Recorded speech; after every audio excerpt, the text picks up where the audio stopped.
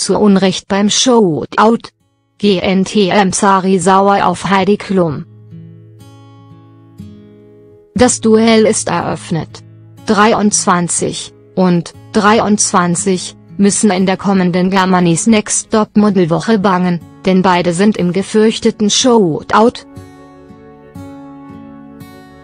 Jurorin Heidi Klum, 44, lieferte eine denkwürdige Begründung für den Wackelstatus, und konnten bislang keinen Job einheimsen. Dabei gibt es noch weitere Kandidatinnen, die noch keinen Kunden begeistern konnten. Aus diesem Grund ist auch sauer auf.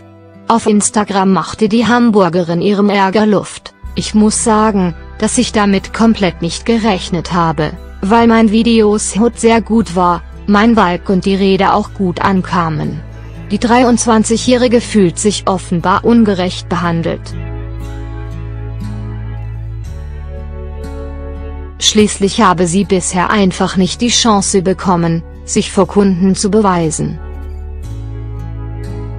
Deswegen finde ich es krass, zwei Mädels ins Shootout zu schicken, nur weil sie bisher noch keine Job-Einladung hatten, beschwerte sie sich. Ob diese Möglichkeit noch bekommt und gegen bestehen kann?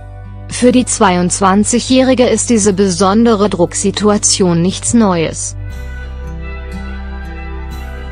Vor zwei Wochen hatte sie mit Mitstreiterin Gerda ums Weiterkommen gekämpft. Sie war beim damaligen Shooting mit den nackten Männermodels erfolgreich.